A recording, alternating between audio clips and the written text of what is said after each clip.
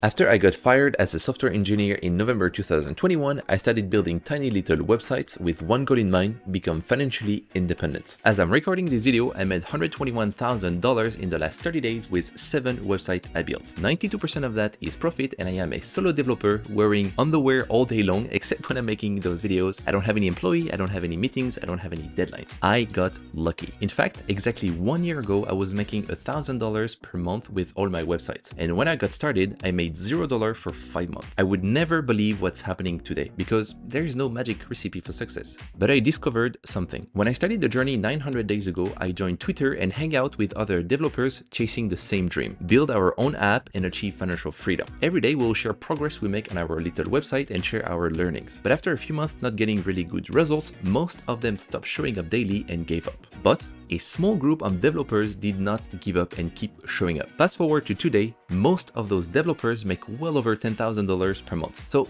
here is the thing, luck is math. If you show up for long enough, even though you don't feel like it, luck will find you. I launched a website in the void for 600 days. There were tons of opportunities to give up, but I kept showing up every single day. And I would never earn 120k in the last 30 days if I gave up. So here are three ways I managed to stay consistent and motivated shipping apps every day for the past two and a half years. The first project I work on as an independent developer is called Mood to Movie. It's a very simple app that recommends movies based on your mood. It took me just a few days to build the first version of the product, because in my head there is some kind of monkey that wants to have instant results. So I can easily convince him to work hard for a couple days, but it's much harder to get it to work hard on something without getting results for a month. In fact, in 2017, when I started the journey, I spent an entire year working on a product that got zero users, and I just burned out completely and stopped working on any project for for another year. So now, whatever I have an idea in mind, I always try to ship the smallest version of that product, usually one feature that I can build in a couple days, sometimes a week, and show it as fast as I can to customers. I usually don't like hanging out with people. I spend most of my time alone or hanging out with my wife, but being isolated is no good. And at the same time, humans are very social creatures and we can leverage those social interactions to motivate ourselves. When I joined Twitter two and a half years ago, I would follow other developers doing the same thing as me. And I remember this guy called Dan. He was writing crispy tweets and he had around the same number of followers as me. And every morning I would try to make a tweet that would have more likes or engagement than him. It usually did, sorry buddy. There is another monkey in my brain that wants to play a game. So I compare myself with other entrepreneurs at the same stage so I can leverage my uh, desire for competition. No jealousy, just healthy competition because in the end we all win. Most of my product made at least $1 and so I was really tempted to focus and try to grow each of them. And actually people ask me often often why do I work on so many projects instead of focusing on just one. And there is another monkey in my head that have expectations. The more time I spend on a specific task, the higher the expectations. So I could select one project and keep adding features and features and features, but that will also grow my expectations. And if nothing big happens,